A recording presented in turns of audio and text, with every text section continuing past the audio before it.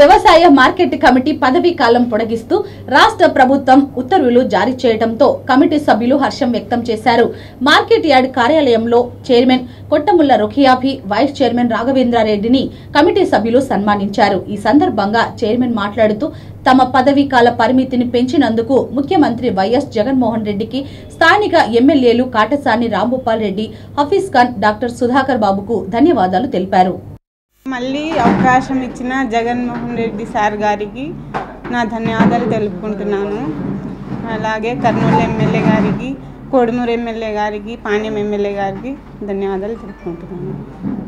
రైతులకు న్యాయం చేస్తాను అన్యాయం చేయనని మీడియా మూలంగా ప్రమాణం చేస్తాను మార్కెట్ యార్డుని మళ్ళీ మాకే అవకాశం ఇచ్చినందుకు మా జగన్మోహన్ రెడ్డి గారికి మా ముఖ్యమంత్రి వర్యులు వైఎస్ జగన్మోహన్ రెడ్డి గారికి నా యొక్క ధన్యవాదాలు తెలుపుకుంటున్నాను.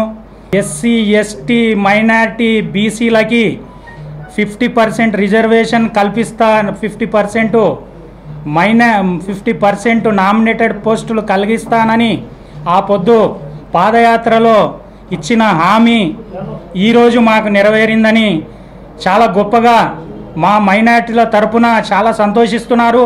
ఏ అవినీతి జరగకుండా అవినీతికి తావు లేకుండా గతంలో గత ప్రభుత్వంలో అవినీతి అక్రమాలు రైతుకు నష్టము రైతుకు అధిక రైతులకి నష్టం కలిగించే విధంగా జరిగింది. ఈ మా ప్రభుత్వంలో అటువంటిది జరగకుండా నాకు ఇచ్చిన ఈ బాధ్యత మా బా- మా భార్యకి ఇచ్చిన బాధ్యతని సక్రమంగా నెరవేరుస్తామని నేను ఒక రైతు రైతు కుటుంబం కాబట్టి రైతు పడే బాధ రైతు పడే కష్టము నాకు తెలుసు కాబట్టి నేను రైతులకు న్యాయం చేస్తానని ఈ సభాముఖంగా ఈ మీడియా సమక్షంలో తెలుపుతున్నాను.